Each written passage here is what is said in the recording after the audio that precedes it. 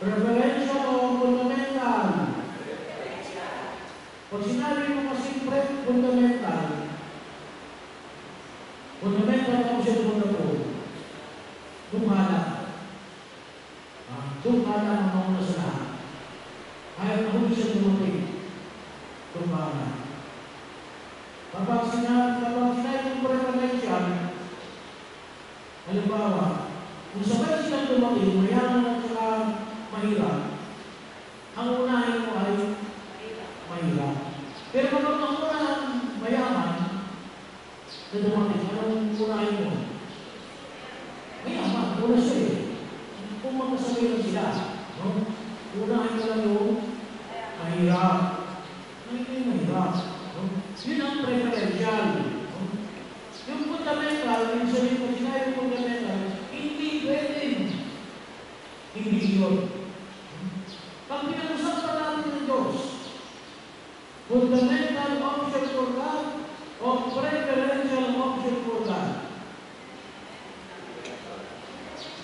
Fundamental option for pag-ibigin mawala ang Diyos. Kaya, pag sinabi nito, fundamental orientations which unify His existence.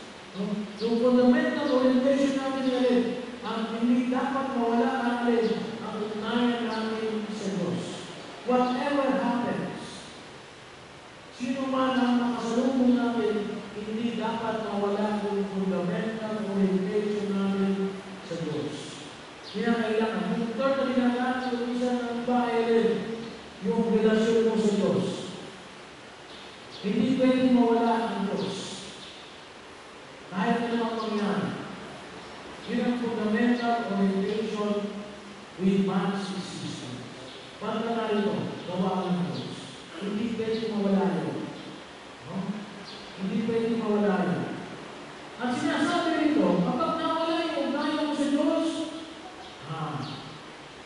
Isimula na masira ang lahat. Ayun, sabi ko naman, it breaks down into the multiplicity of his desires.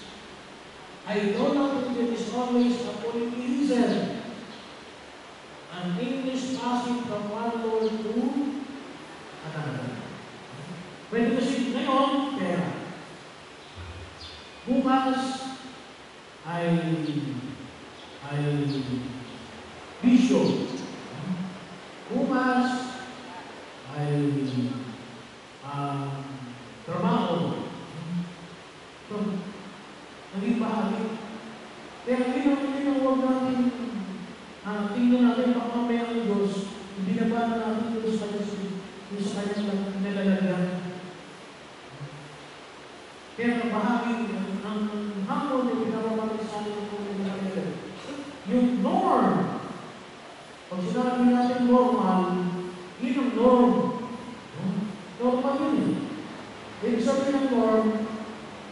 Gracias.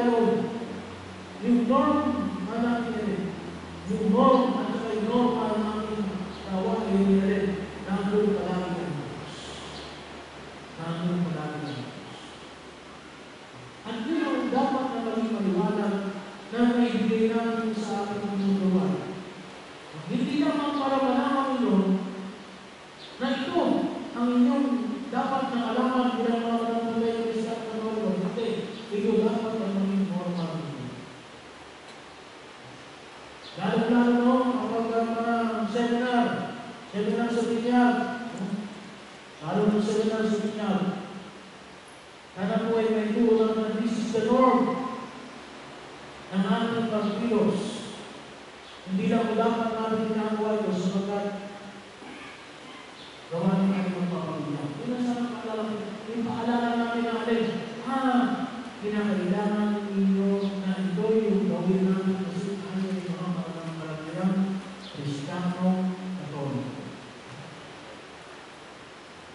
네, 페이지. 어, 이거는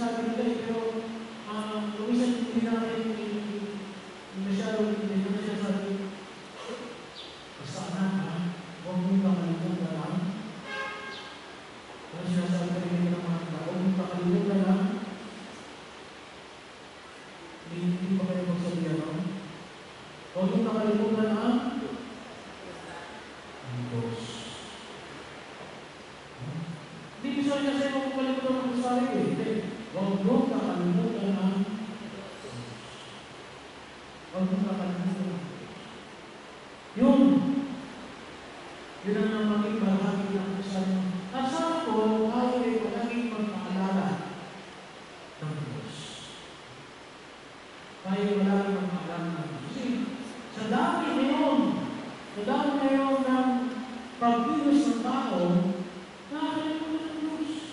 Eh, sabi ko sa inyo, 60% lang ang nagsisipa para wala ko. Eh, ikaw, may yung konti ka. Naging 50% na lamang. So, ayos sa sabi. Okay.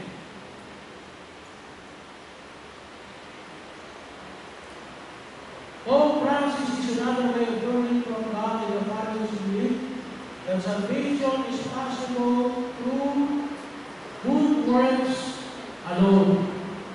Through good works alone.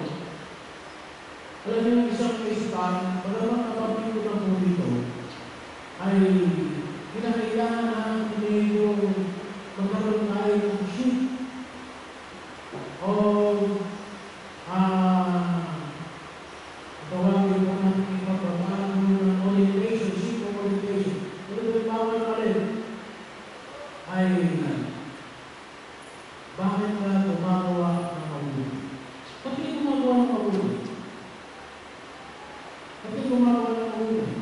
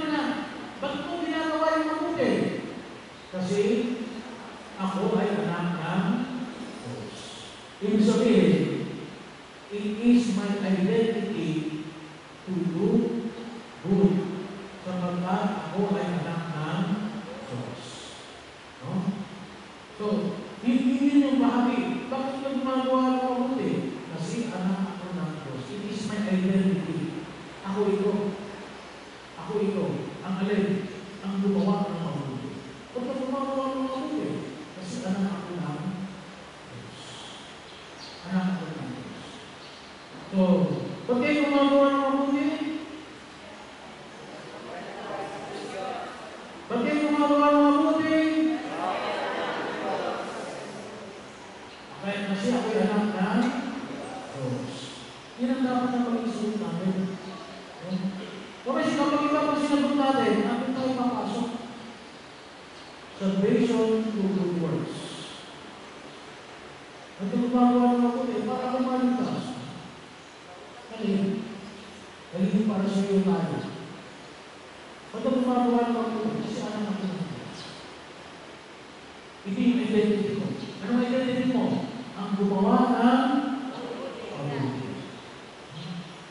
So doon dapat papasok yun. Doon dapat papasok. Kaya, kailangan ka namin, kasi kung minsan, hindi pala kung minsan, halimita, halimita mo yan sa atin, gumawa ka ng kaunti para ano, para maligtas na. Hindi, hindi namin na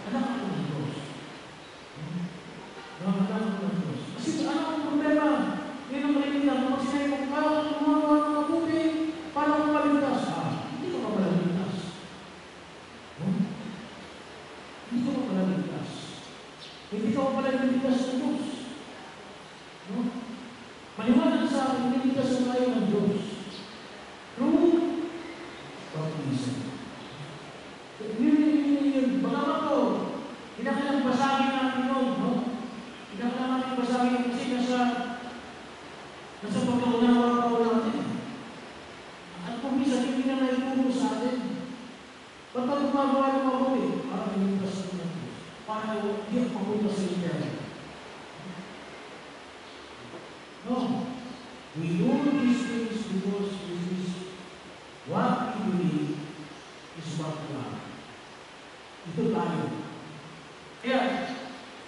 あ。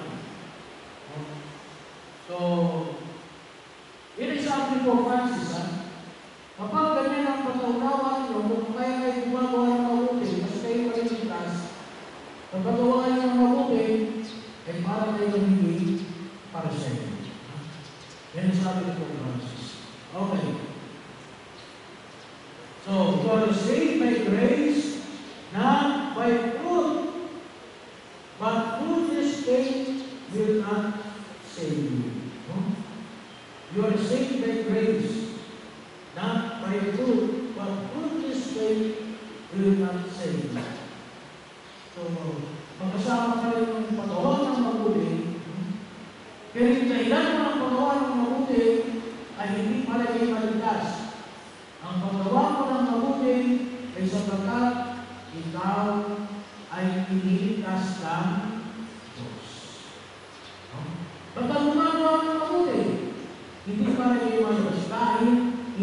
nagpapaligtas na ako na kasi bakit bakit mo sila nagpapaligtas na Diyos? Kasi ikaw ay anak na na Diyos. Ito'y gawain ng isang piniligtas na Diyos. Kapag gumagawa ng muli, what we are saying to us answer the question is Isabel, kasi gawain ito ng piniligtas na Diyos. Okay, ulit na po,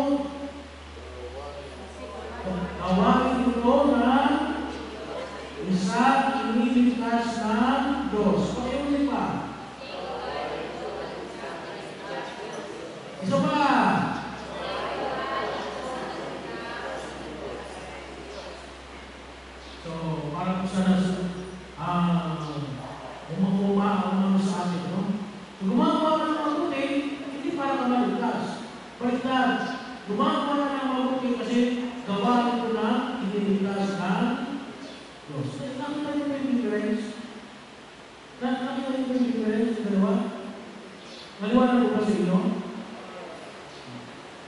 Meron pala ang buma. Bakit? Kasi, pabasahin natin yung isipan na kaya ako gumawa ng mabuti alin. Kasi ako yung para kayo ma-recast. Pwede nyo pabasahin natin.